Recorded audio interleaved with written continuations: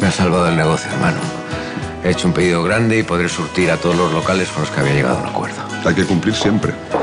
Si lo he conseguido es gracias a ti. Y te estaré agradecido eternamente. Y te devolveré hasta el último céntimo, ¿eh? cuando empiece a cobrar. Tranquilo, hay confianza. Lo importante es que saques adelante tu trabajo. Y establecerme en un sitio fijo, porque ya no estoy para tantos trotes. He pensado en Madrid, para estar más cerca de vosotros. Deberías pensar lo que te interese más a ti. Qué mejor sitio que al lado de mi familia. Que no se presentó vuestra cita. No. Me dio plantón por la hermana de María. Por lo visto, la misma no es agua pasada como pensábamos. Sería por algo importante.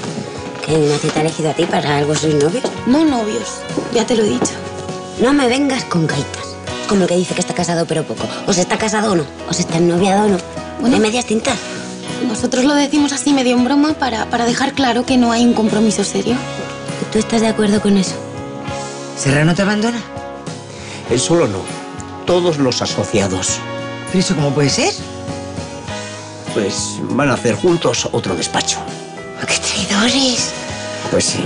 Bueno, piensan en ellos mismos, es normal. No quieren que les salpique lo que se habla de mí. Ahora parece ser que soy un rojo. No, no, pues. Tú no te preocupes por eso, cariño. Es que siempre han sido unos aprovechados. Ya. O sea, ¿qué te digo? Que mejor. Así te quedas tú solo con el despacho.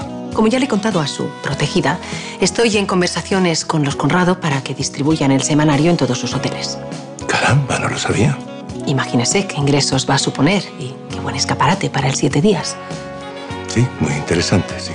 Don Rodrigo, usted es un hombre de negocios y sabe muy bien lo que cuesta obtener un contrato tan ventajoso.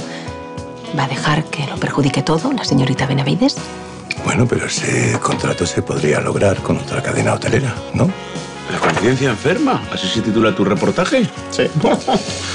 Sí, por lo visto en Estados Unidos están perfilando la personalidad de ciertos individuos que bajo una apariencia de normalidad eligen voluntariamente hacer el mal y van dejando a su paso un reguero de víctimas. Sí, sí, sí, así de qué me hablas. Sí, hay más de los que creemos, ¿no? Psicópatas se llaman, gracias.